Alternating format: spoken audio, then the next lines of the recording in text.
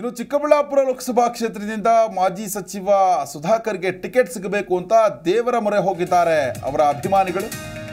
ಇನ್ನು ಆರೂರು ಗ್ರಾಮ ಪಂಚಾಯಿತಿಯ ಲಕ್ಷ್ಮೀ ನರಸಿಂಹ ದೇವಸ್ಥಾನದಲ್ಲಿ ವಿಶೇಷ ಪೂಜೆಯನ್ನು ಸಲ್ಲಿಕೆ ಮಾಡಲಾಗಿದೆ.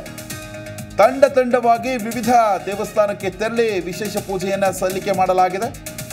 ಪೆರೆಸಂದ್ರ ಸುತ್ತಮುತ್ತಲ ಬೆಂಬಲಿಗರು ಧರ್ಮಸ್ಥಳಕ್ಕೆ ಪ್ರಯಾಣವನ್ನು ಮಾಡಿದ್ದಾರೆ. ಇನ್ನು ಮಾಜಿ ಸಚಿವ ಸುಧಾಕರ್ ಅವರು ಚಿಕ್ಕಬಳ್ಳಾಪುರದಿಂದ ವಿಧಾನಸಭಾ ಚುನಾವಣೆಯಲ್ಲಿ ಪ್ರದೀಪ್ ಈಶ್ವರ್ ವಿರುದ್ಧವಾಗಿ ಪರಾಭವಗೊಂಡಿದ್ದರು ಈಗ ಅವರು ಲೋಕಸಭಾ ಚುನಾವಣೆಯಲ್ಲಿ ನಾನು ಸ್ಪರ್ಧೆ ಮಾಡ್ತೇನೆ ಅಂತ ಇಂಗಿತವನ್ನು ವ್ಯಕ್ತಪಡಿಸಿದ್ದಾರೆ. ಹೈಕಮಾಂಡ್ಗೆ ಟಿಕೆಟ್ ಅನ್ನು ಕೂಡ ಕೇಳ್ತಾ ಇದ್ದಾರೆ. ಆದರೆ ಹೈಕಮಾಂಡ್ ಯಾರಿಗೆ ಟಿಕೆಟ್ ಕೊಡುತ್ತೆ ಅನ್ನೋದೇ ಒಂದು ಇಂಟ್ರೆಸ್ಟಿಂಗ್ ವಿಷಯ ಇಲ್ಲಿ. ಹೀಗಾಗಿ ಈಗ ಮಾಜಿ ಸಚಿವ ಸುಧಾಕರ್ ಬೆಂಬಲಿಗರು ದೇವರ ಮೊರೆ ಹೋಗಿದ್ದಾರೆ. ಪೂಜೆ ಸಲ್ಲಿಸ್ತಾ ಇದ್ದಾರೆ. ಧರ್ಮಸ್ಥಳಕ್ಕೂ ಕೂಡ ಹೋಗಿ ಪೂಜೆಯನ್ನು ಸಲ್ಲಿಸ್ತಾ ಇದ್ದಾರೆ. ದೃಶ್ಯಾವಳಿಗಳಲ್ಲಿ ಗಮನಿಸ್ತಾ ಇದ್ದೀರಾ? ಚಿಕ್ಕಬಳ್ಳಾಪುರ ತಾಲೂಕಿನ ಆರೂರು ಗ್ರಾಮದ ಲಕ್ಷ್ಮೀ ನರಸಿಂಹಸ್ವಾಮಿ ದೇವಸ್ಥಾನ ಇದು.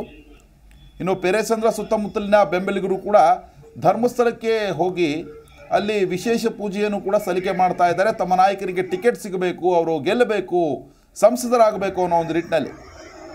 ಈಗ ಹೈಕಮಾಂಡ ಚಿಕ್ಕಬಳ್ಳಾಪುರದಿಂದ ಯಾರಿಗೆ ಮಣೆ ಹಾಕುತ್ತೆ ಅನ್ನೋದು ದೊಡ್ಡ ಕುತೂಹಲಕಾರಿಯಾದಂತಹ ವಿಷಯ ಆಗಿದೆ.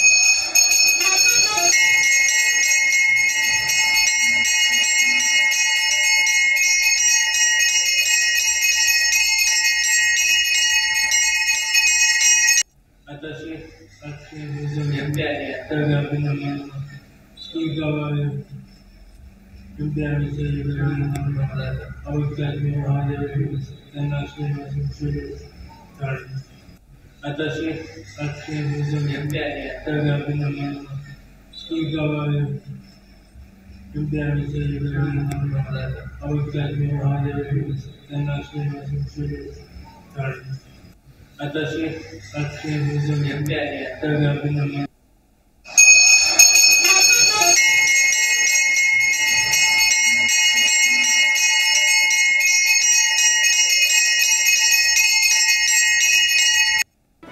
ಜಿ ಕನ್ನಡ ನ್ಯೂಸ್ ಈಗ ನಿಮ್ಮ ಮನೆಯಲ್ಲೇ ನೋಡಿ.